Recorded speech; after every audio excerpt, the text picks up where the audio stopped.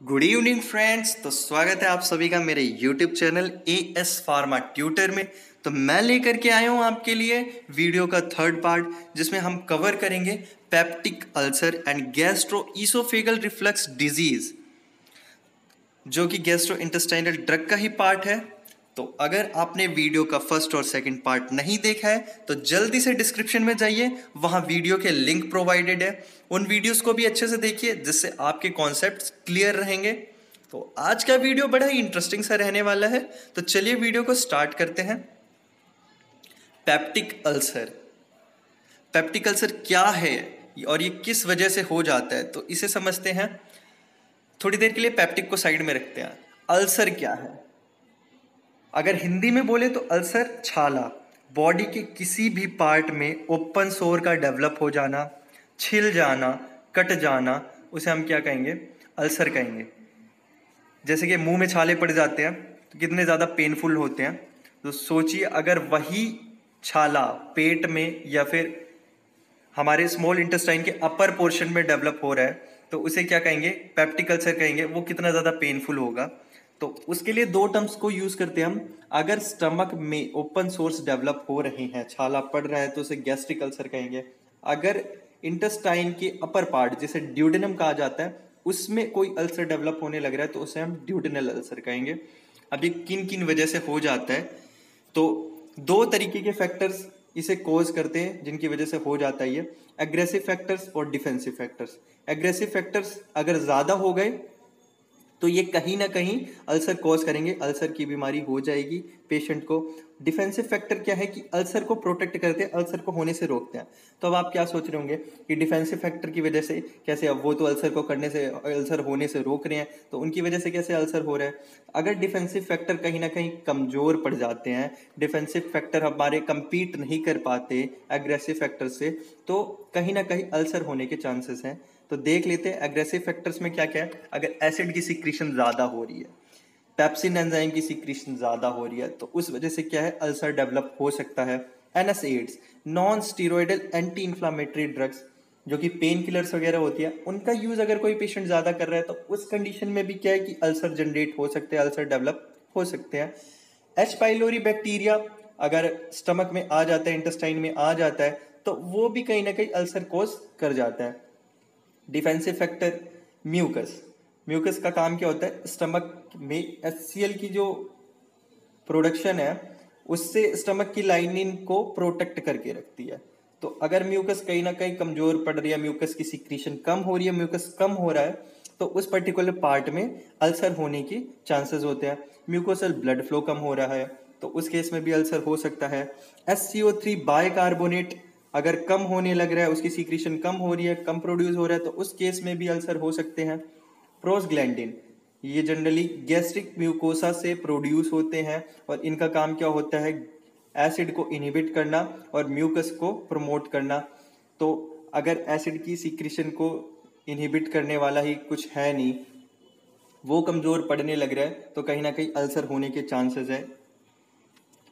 तो अगर अल्सर हो गया किसी पेशेंट को तो हम उसे ट्रीट करने के लिए कौन कौन सी मेडिसिन प्रोवाइड करते हैं? तो बेसिकली चार क्लास की मेडिसिन प्रोवाइड की जाती है। गैस्ट्रिक एसिड सिक्रीशन इनहिबिटर जो गैस्ट्रिक एसिड को ही सिक्रीट ना होने दे, उसकी सिक्रीशन को कम कर दे तो उसमें क्या है? एच टू हिस्टामिन्स जिन्हें एच टू ब्लोकर्स भी कहा जाता है। Anticholinergics proton pump inhibitors prostaglandin इनका यूज़ होता है। दूसरी क्लास है गैस्ट्रिक एसिड न्यूट्रलाइजर अगर एसिड बन गया है तो उसे न्यूट्रलाइज करने के लिए एंटासिड्स वगैरह दिए जाते हैं। तो सिस्टमिक नॉन सिस्टमिक हो सकते हैं वो। अल्सर प्रोटेक्टिव अगर अल्सर कोई सोर जनरेट हो गया है तो उसके लिए कुछ प्रोटेक्टिव्स होते हैं, उनके ऊपर लेयर बना देते हैं, उन्हें अल्सर प्रोटेक्टिव्स कहते हैं। तो हम इन्हें आगे डिटेल में पढ़ेंगे। तो वो क्लास है हमारे पास एक एंटी एच पाइलोरी ड्रग ये अलग ही क्लास है। अगर बैक्टीरिया की वजह से, इस एच पाइलोरी बैक्टीरिया की वजह से अल्सर जनरेट हो रहा है तो उसके लिए ये मेडिसिन प्रोवाइड की जाती हैं। तो एक एक करके इन्हें समझ लेते हैं। एंटी हिस्टामीन्स ड्रग अब ये काम कैसे करती हैं? ये H2 रिसेप्टर को जाकर के ब्लॉक करती है, उसे इनहिबिट करती है। तो जिसकी वजह से गैस्ट्रिक एसिड का सिक्रीशन कम हो जाता है 60 से 70 परसेंट तक कम कर देती हैं ये दवाइयाँ गैस्ट्रिक एसिड सिक्रीशन को। जिसकी वजह से क्या है कि सीक्रीशन कम होगी तो अल्सर में राहत मिलेगी अल्सर ठीक हो जाएगा जल्दी। ये all phases of acid secretion को सप्रेस करती है और स्टमक का पीएच जो है फोर टू फाइव मेंटेन करके रखती है। तो इनका थेरेपेटिक यूज़ क्या क्या है? किन किन कामों में यूज़ हो सकते हैं ये एच टू ब्लॉकर्स हमारे एंटी हिस्टामिन्स ब्लॉकर्स तो पेप्टिक अल्सर दोनों केस में, गैस्ट्रिक और ड्यूडेनल अल्सर दोनों के केस में इन्हें यूज़ किया जा सकता है। गैस्ट्रो इसोफेगल रिफ्लक्स डिज़ीज़ के केस में यूज़ किया जा सकता है। स्ट्रेस अल्सर हो रहे हैं या गैस्ट्राइटिस हो रहा है, उस केस में भी इन्हें यूज़ किया जा सकता है।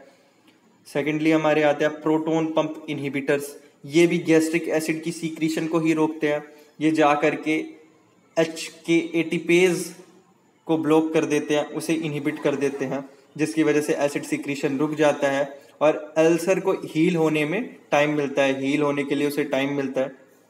ये generally gastro oesophageal reflux disease में भी यूज़ हो सकता है। तो इनका जो थेरापेटिक यूज़ है पेप्टिक अल्सर एच पाइलोरी की वजह से कोई अल्सर हो रहा है एन एस एड की वजह से कोई अल्सर हुआ है, या GERD gastro oesophageal reflux disease है स्ट्रेस अल्सर हो रहा है तो उन केसेस में हम इन्हें यूज़ कर सकते हैं। प्रोटोन पंप इनहिबिटर्स में कौन कौन से ड्रग्स आते हैं? Omeprazole esomeprazole pantoprazole rabeprazole rabeprazole तो आजकल बहुत ज़्यादा कॉमनली यूज़ हो रही है तो ये सारी ड्रग्स जो है प्रोटोन पंप इनहिबिटर्स में आती हैं। इनका एडवर्स इफ़ेक्ट क्या होता है कि इनकी वजह से हाथ पैरों में दर्द रहता है। रैशेज हो सकते हैं हेडेक हो सकता है एट्रोफिक गैस्ट्राइटिस भी हो सकती है। तो ये सब इसके कुछ एडवर्स इफ़ेक्ट थे। प्रोसग्लैंडिन्स प्रोसग्लैंडिन्स अभी हमने पढ़े थे कि क्या होता है, ये इंटेस्टाइनल म्यूकोसा में सिक्रीट होते हैं, वहाँ पे रिलीज़ होते हैं और इनका काम क्या होता है एसिड को इनहिबिट करना प्रोटेक्ट करना प्रोटेक्टिव फ़ंक्शन होता है इनका। तो इनका साइटोप्रोटेक्टिव एक्शन है।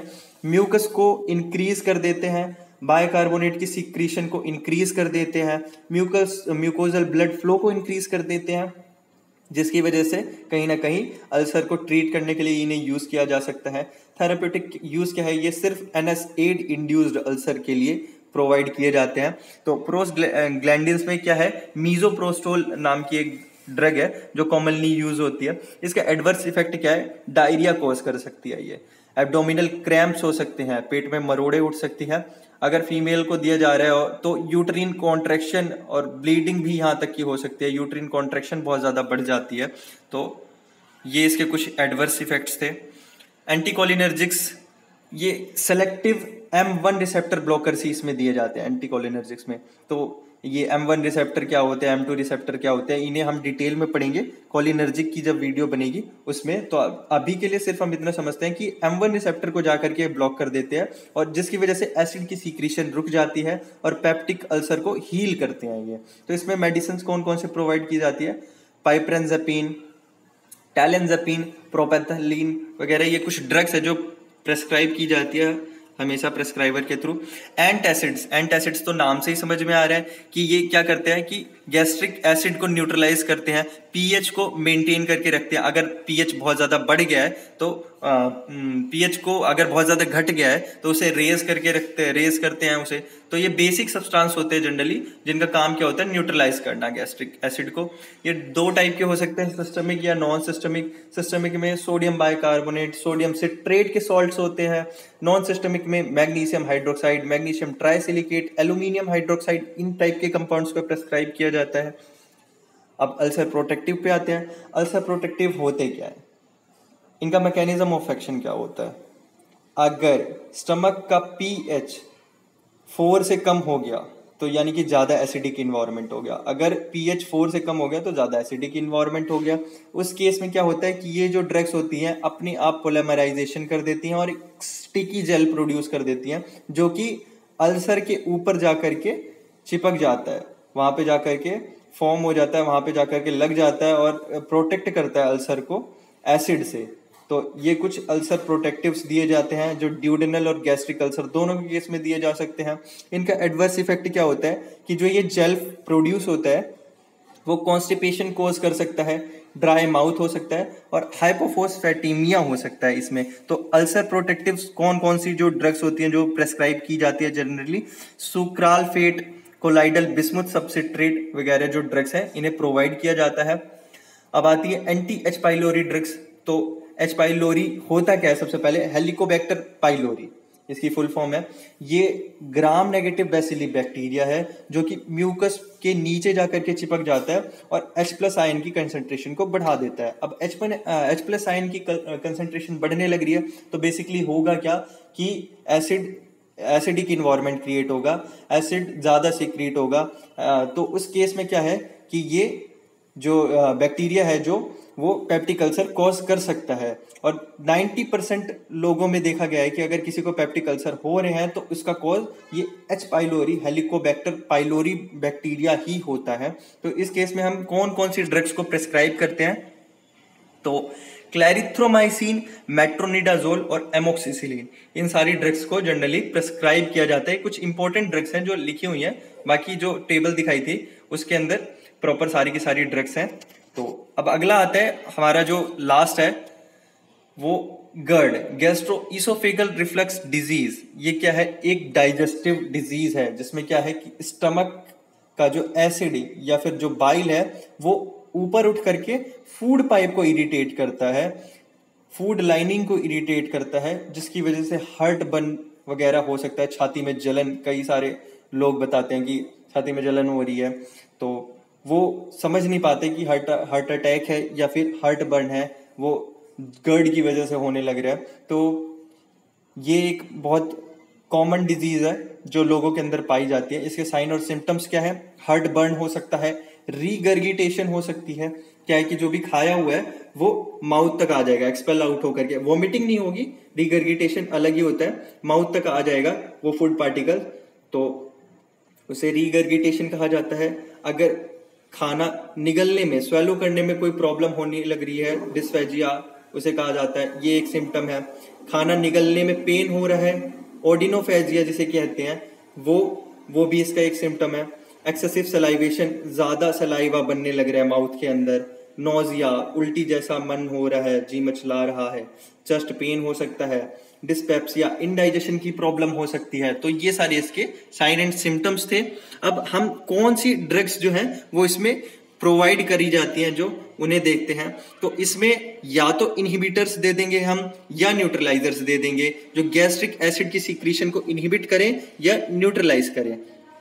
तो प्रोटोन पंप इनहिबिटर्स जिसमें ओमिप्राजोल पेंटाप्राजोल आते हैं, वो कॉमनली यूज़ किए जाते हैं। H two blockers H two anti histamine अभी हमने पढ़े थे, जिसमें सीमेंटिडीन रेनिटिडीन फेमोटिडीन वगैरह आते हैं।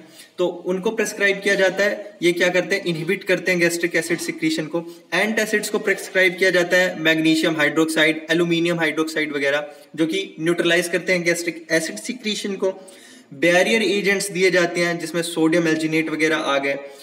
जो बैरियर का काम करते हैं, एक वो उसे आने नहीं देते ऊपर, उस एसिड को या उस बाइल को फ़ूड पाइप तक नहीं आने देते। बैरियर एजेंट्स कुछ प्रेस्क्राइब किए जाते हैं। कुछ प्रोकाइनेटिक ड्रग्स हैं।